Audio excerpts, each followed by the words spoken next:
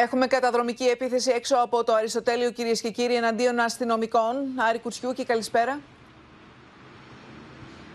Ήταν δύο ομάδες Λίνα που κινήθηκαν συντονισμένα. Η μία βγήκε μέσα από το χώρο του Πανεπιστημίου, η άλλη από την οδό Αγίου Δημητρίου. Οι δράστες, οι άγνωστοι, επιτέθηκαν με βροχή από Μολότοφ κατά της αστυνομικής δύναμης της Δημηρίας που βρίσκεται σε μόνιμη βάση έξω από το βιολογικό στην υποκατασκευή βιβλιοθήκη. Όλα αυτά συνέβησαν πριν από λίγο, την ώρα που περνούσαν και ανυποψίαστοι πολίτες με κάποιους από αυτούς να βρίσκουν καταφύγιο στην κλούβα της αστυνομίας. Να σας πω ότι οι συνδικαλιστές κάνουν λόγο για εγκληματική ενέργεια. Από τύχη λένε δεν είχαμε τραυματισμούς ή κάτι χειρότερο και αναρωτιούνται αν φυλάσσονται τα πανεπιστήμια. Σε εξέλιξη η έρευνα για τον εντοπισμό των δραστών. Ενώ να θυμίσω ότι δεν είναι η πρώτη φορά που η δημιουργία των ΜΑΤ που βρίσκεται εδώ πέφτει, βρίσκεται στον στόχαστρο ε, αγνώστων.